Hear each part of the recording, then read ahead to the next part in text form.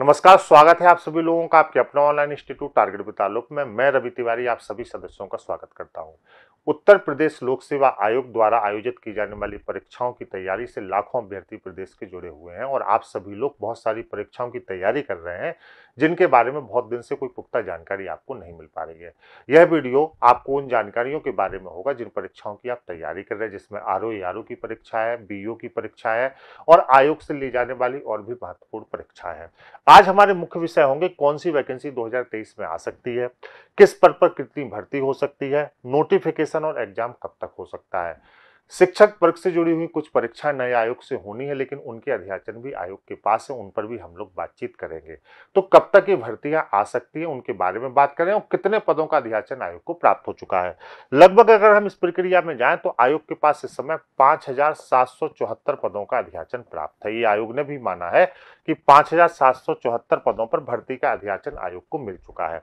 तो अध्याचन मिलने की बात की प्रक्रिया यही होती है कि जब अध्याचन मिला तो इसके बाद हम नोटिफिकेशन देके भर्ती की प्रक्रिया को प्रारंभ करें। लेकिन समकक्ष योग्यता के चक्कर में यहाँ पर कुछ नोटिफिकेशन आपके रुके हुए हैं, जो एक से डेढ़ महीने में क्लियर होकर जारी हो जाएँगे। तो जो लोग भी आर ओ और बीओ की परीक्षाओं की तैयारी कर रहे हैं, वो सभी लोग सचेत रहे, आप तैयारी करते रहे, क्योंकि जल्द ही आपको नोटिफिकेशन देखने को मिलेगा।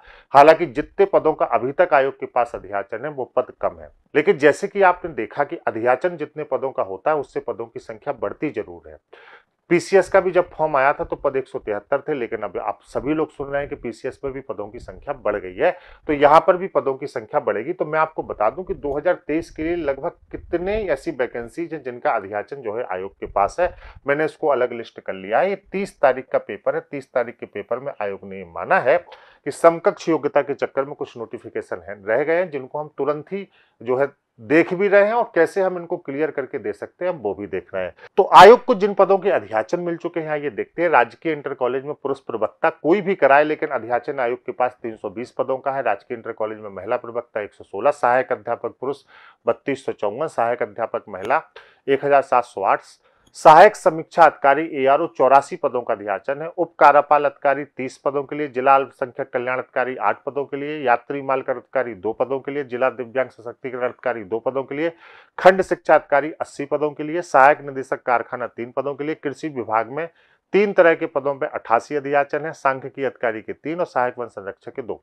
पदों की संख्या के हिसाब से देखें तो यह अध्याचन बहुत कम है, लेकिन निश्चित रूप से मान लीजिए कि आप में से जो लोग भी यहाँ पर तैयारी कर रहे हैं यहाँ पर एआरओ की।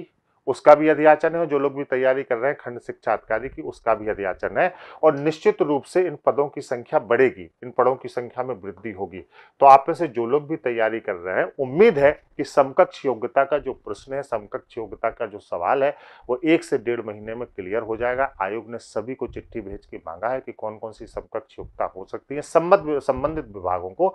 तो जल्द ही जब इसको हल कर लिया जाएगा तो ये वैकेंसी आपको देखने को मिलेगी। तो दो हज़ार तेईस में आपको आर ए और बी की वैकेंसी देखने को मिल सकती है, इसके लिए आप मान लें।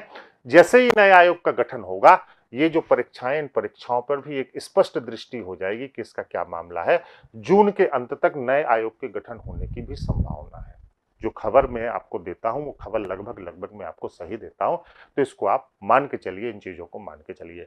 तो जो भी आप सभी सदस्यों में से जो लोग भी तैयारी कर रहे हैं, वो अच्छे से तैयारी करें, निश्चित रूप से आपको अच्छी खबरें मिलेंगी। हाँ एक निराशा की बात ज़रूर है कि पद कम है। लेकिन पद निश्चित रूप से भरेंगे, क्योंकि जब देखिए पीसीएस का फॉर्म आया था तो एक ही पद थे इस बार।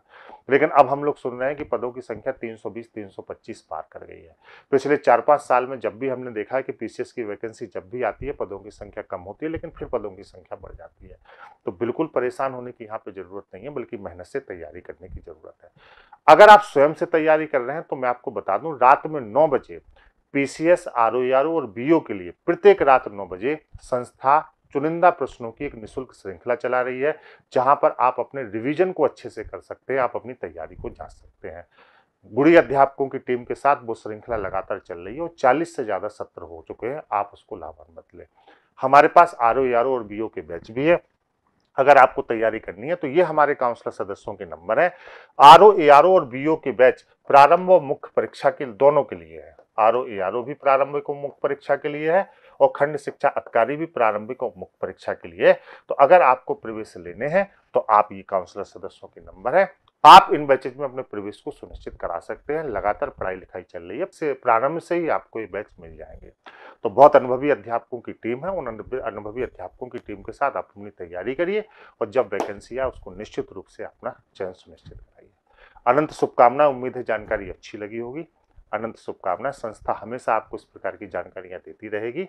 आगे भी हमेशा नोटिफिकेशन पाने की चीज़ों को करने के लिए आप जो है चैनल को सब्सक्राइब कर लीजिए बेल आइकन दबा लीजिए ताकि आपको सभी नोटिफिकेशन मिल सकें।